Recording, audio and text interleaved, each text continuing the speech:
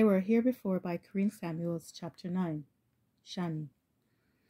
I feel like I'm walking in a daze, wide awake in a dream.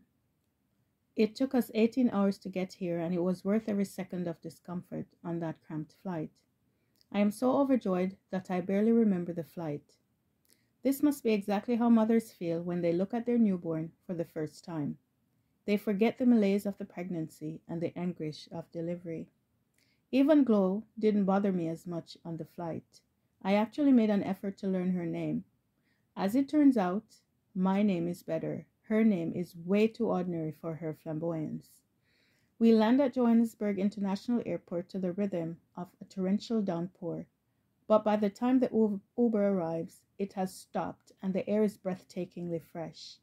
The air feels like it has been filtered and purified just for us, definitely a clear sign of a welcome an embrace even. You know how we always clean our house in anticipation of an important visitor? I perceive this as a good omen, which lifts my already elevated spirits, as I was vibing at an unusually high level. Also, when the lady at customs said, Sanibonani, with a huge smile, I felt that deeply. I am not sure yet why, but I just do. We're booked to, to stay in the Protea Hotel in Pretoria, about 33 miles from Johannesburg, a condominium inspired building with all the modern amenities which I have come to love.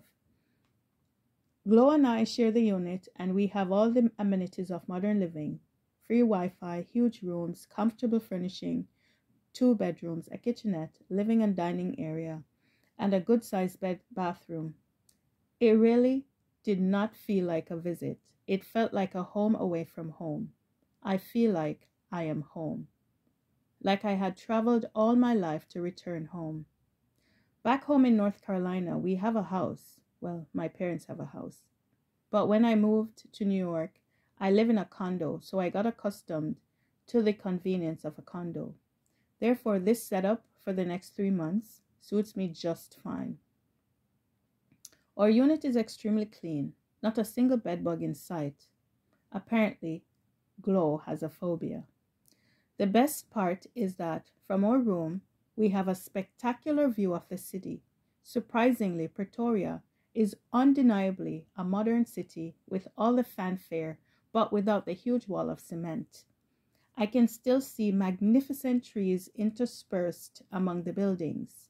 Our room is bright with tons of natural light, from the huge balcony and three substantial windows. Trees, natural light, fresh air. I am in my natural habitat. There is also an office suite with computers, all neatly organized to reflect the modern office, a swimming pool. Get this, a rooftop swimming pool, outdoor patio for dining. Just absolutely amazing decor everywhere. Clearly, Whoever designed and built this hotel had me in mind. That being said, this property has seen better days, and to the super finicky, it would be problematic, but not for me. I am finally home. The next day, I'm anxious to take a look around the city, so I get up early as usual and go for a stroll. I don't wander too far from our building before our local guide arrives. It doesn't even bother me that no one came to meet us at the airport. Glow has been livid since last night. Oh well, whatevs.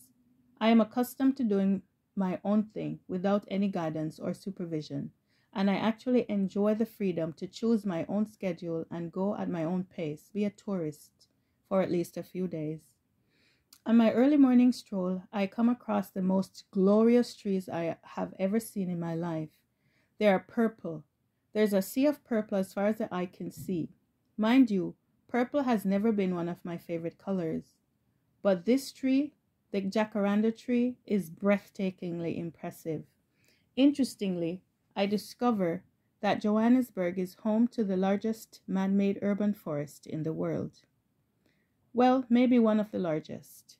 I also discover a flowering plant which I have never seen before Lobostemon fructicose sus, endemic to South Africa, and has over 30 varieties and many colors but I mostly see baby blue and light pink. Trees, lush vegetation. I couldn't ask for a more perfect spot. However, poor Glow is not faring so well. Allergies. Later that day, we meet up with a team from the local company that we will be in partnership with. They apologized profusely for not having anyone meet us at the airport. They also said that our local guide and third team member had been called away on urgent family business and would be back the following day. In the meantime, they brought us up to speed on the areas that we would be covering on this trip. I could listen to them speak for hours. I so enjoy their accents, which seemed to be a mixture of British and their indigenous language, perfectly complementing each other, such a sophisticated mashup. There is also a pragmatic way to their speech, to the point, no place for slangs and words like kinda or sort of. Once that meeting meet and greet concludes, we go for lunch. I am not too sure of the food yet, so I choose an American dish. I figured there will be enough time to gradually taste their food, so why get sick on the first day? We turn in early that night, jet lag kicking our butts, along with the time difference, South Africa being seven hours ahead of the East Coast. There is so much to process, plus, I need to meditate as well to sufficiently ground myself in my new environment so that I can take full advantage of this opportunity. I know how I tend to live in my head, so I decided before getting on the plane to enjoy every minute. Usually, once I become emotionally overwhelmed, I retreat into my head and stay there until I feel safe. But the world doesn't wait for people to get over their issues. So I have missed many opportunities by chilling there. Sometimes I miss whole conversations this is going to be the most memorable trip for me ever. So I am definitely going to be present for each and every moment. I just have to be really vigilant and not allow myself to be inundated by other people's emotions, which is going to be a huge challenge, having spent most of my life in my head. But I'm going to do it. It is going to be exhausting, but I'm going to rise to this challenge. Humans don't just unlearn years of conditioning overnight but it is embedded in the human spirit to win, and this I will. My folding days are over.